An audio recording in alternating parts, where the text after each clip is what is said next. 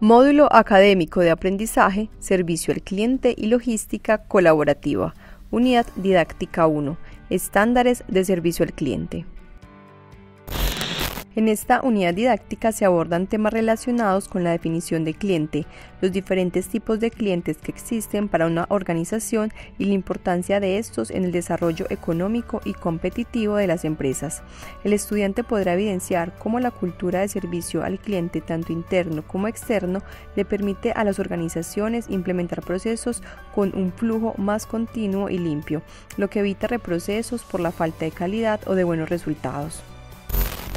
Adicionalmente, se puede explorar las diferentes herramientas que se desarrollan en las empresas para lograr mayores grados de satisfacción del cliente. Como parte de esas herramientas se encuentran las estrategias, los procedimientos y protocolos de atención al cliente y su medición para evaluar dichos desempeños, al igual que los instrumentos que se utilizan para la medición de la satisfacción del cliente.